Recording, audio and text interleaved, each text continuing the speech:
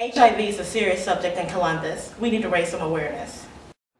How can people like me help? Well, we all like to eat, right? World AIDS Day is coming up, and all you have to do is go and eat at one of your favorite restaurants. A Reason to Dine brings awareness of the issues back to Columbus. Go to reasontodine.com to find participating restaurants and to see how much they are donating. Then you can decide where to go. Encourage your favorite restaurants to get on board. The more places we have, the more awareness we create.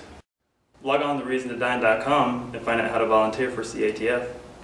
Columbus AIDS Task Force, we're still leading the fight. Join us.